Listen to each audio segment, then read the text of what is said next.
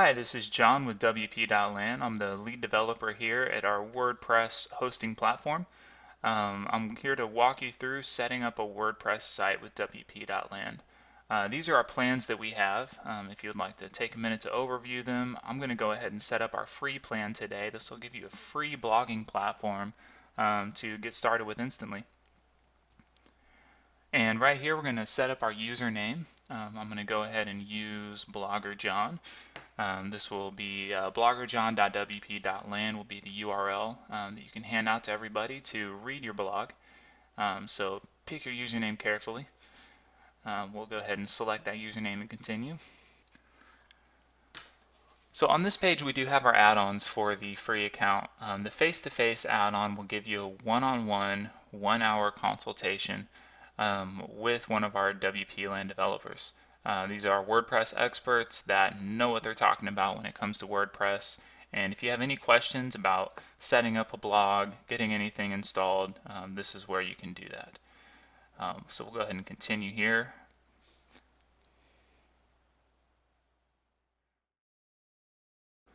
All right, so we have our uh, WP free account in our shopping cart. Um, let's go ahead and check out with it. And my information is pre-filled um, because I was already logged in, but you can go through and just fill in your information and click complete order.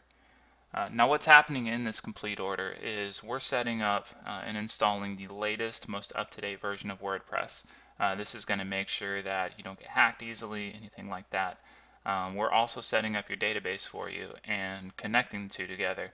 So you don't have to go through and install files, set up a database, um, connect the two, you don't have to do any of that. We take care of all of it for you. Um, and here it is completed. Um, we have bloggerjohn.wp.land. Uh, if you click on that, you can get your login details. Uh, the WordPress URL, again, bloggerjohn.wp.land. Um, the admin URL is there. Uh, and it gives you your username and your password to get started with in a convenient place that you can always come back to and check.